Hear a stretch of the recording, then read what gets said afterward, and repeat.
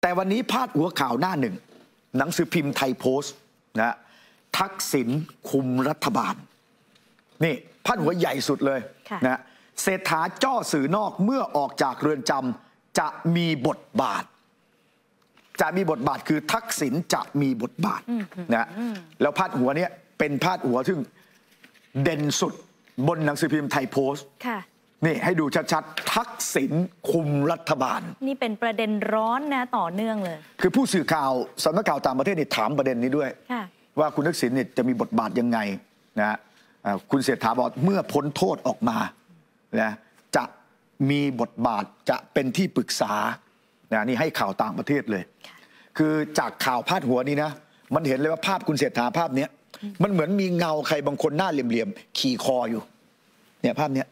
ไม่ใช่หนังชัตเตอร์นะ อันนี้เป็นสิ่งที่ต้องระมัดระวังมาก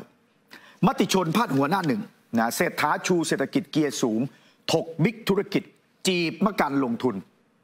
เนี่ยสายสีแดง 20 บาท รฟทเคาะแล้วชงสุริยะนะฮะรถไฟฟ้าสายสีแดงนะทางบอร์ดการรถไฟไฟเขียวเรียบร้อย เสนอคมนาคมนะแต่ประเด็นกรณีเศรษฐาชูเศรษฐกิจเกียร์สูง นะอันนี้น่าสนใจตรงไหน น่าสนใจตรงที่ว่าเริ่มถอดรหัสออกมาเรื่อยๆค่ะนะมุมของคุณเศรษฐาทวีสินคืออะไรนะฮะคือเทหมดหน้าตักคำเนี้ยมีความหมายหลายมิติ ทั้งเรื่องเศรษฐกิจด้วย อัตราการเติบโตเศรษฐกิจของไทยยังต่ำนะกว่าหลายประเทศในอาเซียนคำว่าเทหมดหน้าตักเนี่ยเมื่อไปให้สัมภาษณ์กับสื่อต่างประเทศคุณเศรษฐาก็พูดถึง เรื่องของการเพิ่มตัวเลขการเติบโตค่ะแล้วมันถอดรหัสกับว่าไอ้เงิน5้าแสนล้าน คือเทไปตรงไหน GDP มันก็ต้องโตตรงนั้น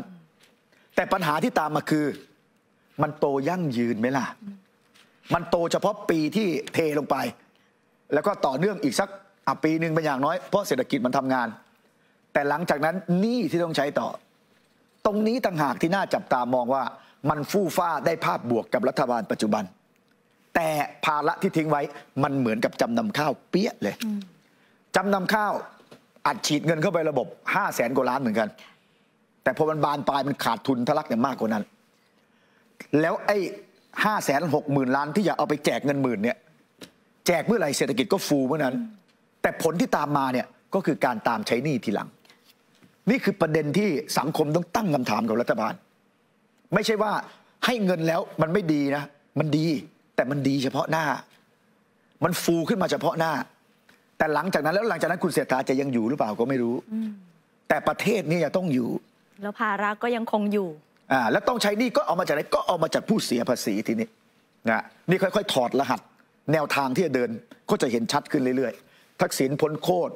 นะมามีตำแหน่งแห่งหน จะเป็นที่ปรึกษาอ่าแล้วมุมมองที่จะเดินอัดฉีดก็คือ จะทำตัวเลข GDP มันโตยอมเทหมดหน้าตัก คำว่าเทหมดหน้าตักเนี่ยมันไม่ใช่แค่ในยยะทางการเมือง แล้วพอเอาเรื่องเศรษฐกิจเข้าไปเกี่ยวข้องกับการเอ่อบริหารการเมืองเนี่ยให้ได้รับความนิยมเนี่ยมันโมเดลเดียวกันเลยกับเวเนซุเอลากับอเมริกาใต้อะใช่อันนี้น่ากลัวมากนะไทยรัฐวันนี้พาดหัวใหญ่เข้าเกียร์สูงดันเศรษฐกิจเห็นไหมฮะเศรษฐาอวดนักธุรกิจสหรัฐเนี่ย คือโชว์แนวคิดเนี่ยเห็นชัดขึ้นเรื่อยค่ะๆจะเอาให้มันตัวเลขใหญ่ ๆ ไว้ก่อนอ่าใช่ไหมแต่ในระยะยาวจะเป็นยังไงค่ะนะแล้วก็เดลินิวส์เนี่ยก็ตามไปที่เรื่อง M5 ศพรับทารุณลูก ขังตู้ทีวีสิ้นใจทิ้งป่วยตายนะฮะส่วนแนวหน้าไบเดนยินดีนายกคนใหม่เศรษฐาสุดปลื้ม ย้ำสานต่อสัมพันธ์ไทยสหรัฐ ก้าวไกลโดดป้องช่อนะ โรมยันโทษติดคุกยังดีกว่าตัดสิทธิการเมืองตลอดชีวิตนะเดี๋ยววันนี้มีรายละเอียดเพิ่มเติมด้วยนะฮะเรื่องนี้เมเนเจอร์ออนไลน์เนี่ยพาดหัวเลยนะอันนี้เป็นแบนเนอร์ข่าวในสกู๊ปของเมนเจอร์ ทักษิณนอนโรงพยาบาล รอพักโทษกลับบ้านโอ้โหเอ่อแล้วยิ่งเมื่อนายกเศรษฐาให้สัมภาษณ์สื่อต่างประเทศนะค่ะบอกว่าทักษิณพ้นโทษเมื่อไหร่ ก็จะไปปรึกษาแล้วก็จะมีตำแหน่งแห่งหน นะเป็นที่ปรึกษาเอ่อตำแหน่งใหม่นะก็ยิ่งเอ่อคาดการณ์ว่าถ้าแบบนี้กลไกของรัฐมีหรือที่จะไม่ไปช่วยเหลือไงค่ะทักษิณนอนโรงพยาบาลรอพักโทษกลับบ้าน อ้างว่าผ่าตัดอยู่ต่อเกิน 30 วัน แล้วหลังจากนี้นะถ้าเกิดว่ายื่นพักโทษไปเนี่ยมันจะเข้าเกณฑ์ไหมกติกาเดิมคือต้อง 6 เดือนค่ะ6เดือนเนี่ยก็ต้องโนนกุมภาใช่ไหมจะมีเหตุอะไรที่ทำให้ ได้พักโทษก่อนหรือเปล่า นี่เป็นสิ่งที่ต้องตามต่อฮะ ส่วนการ์ตูนนะฮะที่เห็นอยู่ด้านหลังเมื่อสักครู่ค่ะยุคแสนสำราญนะฮะการ์ตูนยุคแสนสำราญค่ะ ก็ว่าด้วยประเด็นที่คุณช่อถูกตัดสิทธิ์ทางการเมืองนะคะจากประเด็นที่เจ้าตัวในโพสต์หมิ่นค่ะ แล้วก็โดนมาตรา1นึไปนะคะการ์ตูนยุคแสนสำราญค่ะช่องแรกนะโทรศัพท์ค่ะก็ เป็นภาพที่คุณช่อนี่เคยทำนะนะคะพี่ปรีดีคะช่อโทรมาแจ้งข่าวดี พวกเราทำสำเร็จแล้วค่ะ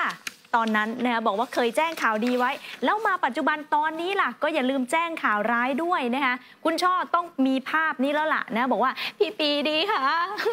ช่อโดนตัดสิทธิ์ทางการเมืองตลอดชีวิตค่ะน้ำตาท่วมจอเลยค่ะ ครับเออคือเคยแจ้งข่าวดีค่ะอย่าลืมแจ้งข่าวร้ายใช่นี่บัญชาคามิน ยุคแสนสำราญกล่าวค่ะอะต่อที่แนวหน้าการ์ตูนกันบ้างนะคะ โดยคุณพศค่ะ ผู้ชายสองคนนี้นะก็มีบทบาทแตกต่างกันไปค่ะ แต่ว่าตอนนี้นะการ์ตูนเนี่ยเขาสื่อแบบนี้